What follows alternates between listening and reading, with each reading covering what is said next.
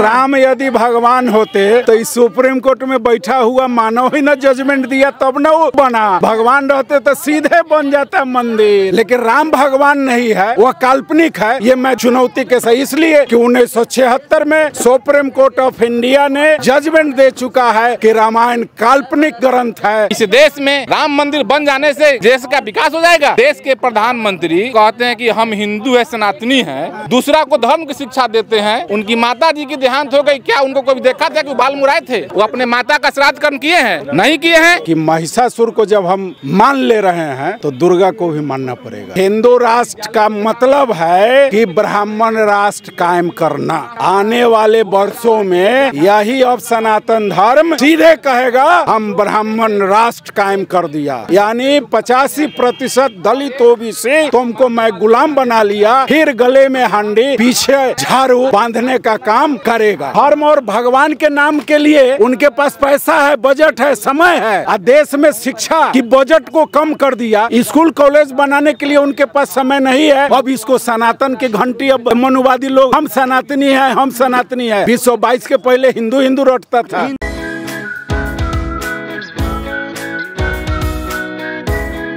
इस वक्त बिहार के हाजीपुर में है और यहाँ पर राजा महिषासुर और बसावन भुइया का सम्मान समारोह का आयोजन किया गया था, जहाँ प्रोफेसर लक्ष्मण यादव और नेशनल दस्तक के संपादक शंभू कुमार सिंह भी आए थे।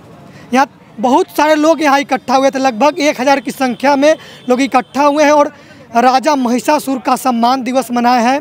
बसावन भुइया का सम्मान दिवस मनाया है। कुछ लोग मेरे साथ मौजूद हैं इन लोगों से बात करते हैं और समझने का प्रयास करते हैं इन लोगों का सम्मान दिवस क्यों मनाया जा रहा है। लल्लन साहू जी हैं जो आरजेडी के नेता हैं और सामाजिक कार्यकर्ता इनसे बात करेंगे। महिषासुर और बसावन भुइया का सम्मान समारोह क्यों? व्यक्तिगत रूप से अगर हमसे आप पूछ रहे हैं तो महिषासुर का तो होना ही नहीं चाहिए। इसलिए कि महिषासुर को जब हम मान ले रहे हैं तो दुर्गा को भी मानना पड़ेगा। यह लक्ष्मण यादव जी ने हम लोगों को कुछ टिप्स दिया है। रह गई बसावन भुइया बाबा का तो हमारे जो ओबीसी के लोग हैं, जहाँ जिस परिवार में जन्मे ओबीसी में बसावन भुइया, वो समाज के लोग यहाँ मंदिर बना दिया, जबकि बसावन भुइया के नाम पर यहाँ कोई कॉलेज बनाया जाता तो ज़्यादा अच्छा होता। और अंबेडकर फूले जी, जो हमारे पूर्वजों का इतिहास है, उस इतिहास को दोहराया जाता। लेकिन मनुवादियों के चक्कर में हमारे बसावन भुइया सामाजिक न्याय की बात करते थे। समाज के लिए लड़े, मुसहर के लिए दुसाद के लिए, तेली के लिए जादव के लिए, सभी जाति के लिए उन्होंने सामाजिक लड़ाई लड़ने का काम किया। और उन मनुवादियों ने इन्हें बाबा बनाकर बसावन भूया बाबा का नाम दर्ज कर दिया लोगों के दिमाग में बैठाकर उनका पूजा भी कराने लगा। सवाल आप लोग कहते हैं कि पचासी परसेंट लोग हैं नब्बे परसेंट लोग हैं और कह रहे हैं कि आपके जो विरासत के लोग थे आपके पूर्वज वंशज थे उनको कैसे कब्जा कर लिए? मेरे मेरे विरासत के लोग को मनोवादी तो हमारे साथ आएगा। मैं जब कहूँगा इनकलाब ज़िंदा तो एक भी आरएसएस वाला मेरे साथ रहेगा तो वो मेरे राग में इनकलाब जिंदाबाद इनकलाब जिंदाबाद। एक मिनट में हम थकेंगे वो माइक हमसे ले लेगा। तो मेरे ही लोग जो समाज सुधारक थे उनको वो हमारे लोगों के बीच में भगवान बाबा जोगी बना दिया जिस कारण हमारे लोग जो मूर्ख ही कहेंगे हम वो मंदिर बना कर उनको पूजने का काम किया। यहाँ हज़ारों लीटर दूध हर एक साल चढ़ाई जाती है। और हमारे गरीब के बच्चे दूध के बिना मर रहे हैं उन्हें फ्री में दूध देने वाला कोई नहीं है। लेकिन मुक्त करवाएँगे आप लोग? हाँ इन गलत परंपराओं से मुक्ति दिलाने के लिए समाज गाँव देहात सब जगह हम लोग का टीम जा रहा है। काम बसावन भुइया को जो कब्जा कर लिया है लोगों ने उसको मुक्त करवाएँगे आप लोग? नहीं नहीं कब्जा तो कर लिया। अब उन लोगों को हम लोग समझा रहे हैं कि ये हमारे जैसे महात्मा फूले थे अंबेडकर जी हैं साहू जी महाराज है वैसे हमारे बसावन भुइया बाबा हैं। अच्छा। हमको उन रूप में मानेंगे। मनुवादियों द्वारा भगवान घोषित किया गया इसको हम लोग नहीं मानेंगे। बनेगा क्या उनके नाम से? हाँ बनेगा। बनेगा। पच्चीस में आदरणीय लालू यादव और तेजस्वी यादव की सरकार बन गई। बिहार की जनता बना दी। तो बसावन भुइया के नाम पर कॉलेज का निर्माण इस गाँव में होकर रहे। कि आप देश के प्रधानमंत्री जो कहते हैं कि हम हिंदू है सनातनी हैं दूसरा को धर्म की शिक्षा देते हैं उनकी माता जी की देहांत हो गई क्या उनको कभी देखा था कि बाल मुराए थे? नहीं मुड़वाए। वो अपने माता का श्राद्ध कर्म किए हैं? नहीं किए हैं? अच्छा। नहीं किए हैं। मैं OBC S T S T minority को कहना चाहता हूँ कि आप लोग धोखा में हैं। आप बच्चे को पढ़ाइए लिखाइए और श्राद्ध कर मत कीजिए, लंबा शादी विवाह मत कीजिए धर्म के नाम पर चंदा मत दीजिए। आप कर्जा कार के जो चंदा देते हैं वो चंदा देना बंद कीजिए। जो आपको शिक्षा दे रहा है, वह खुद इस चीज़ को नहीं मानता है। क्या इस देश में राम मंदिर बन जाने से देश का विकास हो जाएगा। इस देश में नहीं इस देश में विद्यालय वहाँ पुजारी होंगे, यहाँ विद्यालय को बेचा जा रहा है पुस्तकालय को बेचा जा रहा है अस्पताल को बेचा जा रहा है और राम मंदिर बना करके लोगों को धर्म के नाम पर धर्म के लोगों को गुलाम बनाया जा रहा है। उनके ब्राह्मणों का बच्चा सवर्णों के बच्चे विदेश में पढ़ते हैं और हमारे बच्चे को कहते हैं कामर लेके जाओ बेटा तुम कामर लेके जाओ बाबा को जल चढ़ा करके आओ तुम अगला बार मैट्रिक में साठ परसेंट से पास कर जाएगा।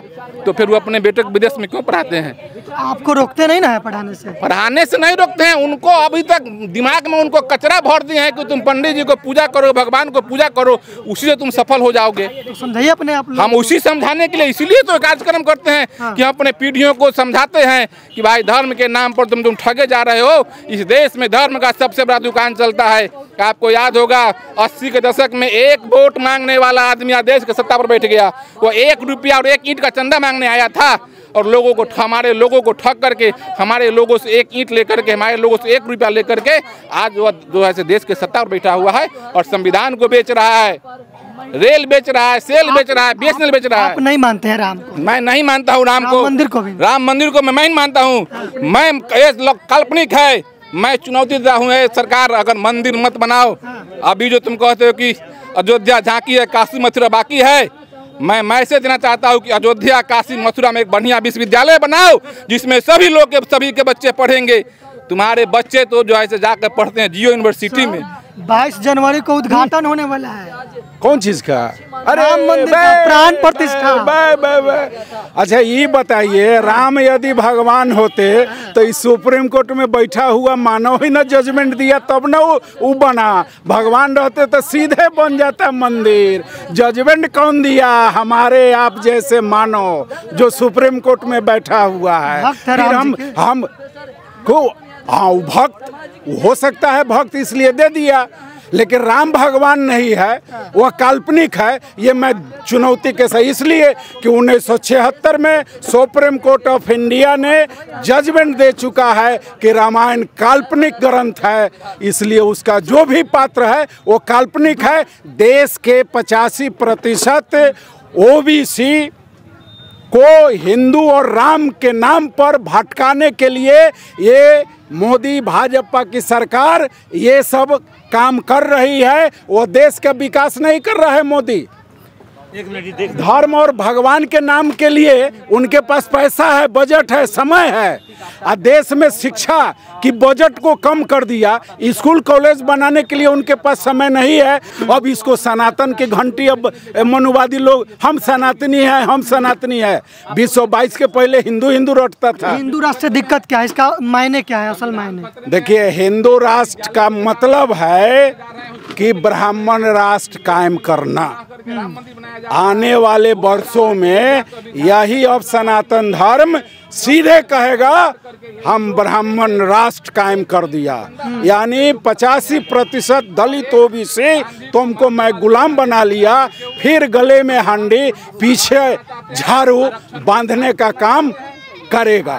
ये बहुत जल्द घोषणा कर देगा। यदि 2024 में भाजपा की सरकार को लोग नहीं उखाड़ फेंका तो उसके बाद ब्राह्मण राष्ट्र की घोषणा होने जा रही है। इसको रोकेंगे कैसे सर ये ये हम लोग लोगों के बीच जा रहे हैं। संदेश हम लोग पहुँचा रहे हैं लोगों में जागृति ला रहे हैं आंदोलन होगा।